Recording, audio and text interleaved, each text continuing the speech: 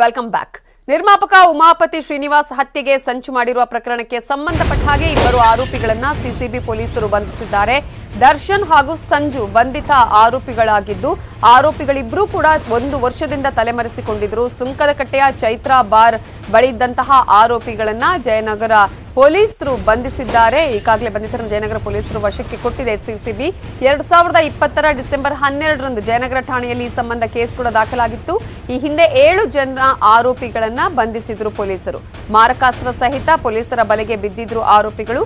ಆರೋಪಿಗಳ ವಿಚಾರಣೆ ವೇಳೆ ಉಮಾಪತಿ ಹತ್ಯೆಯ ಸಂಚು ಬಯಲಾಗಿತ್ತು.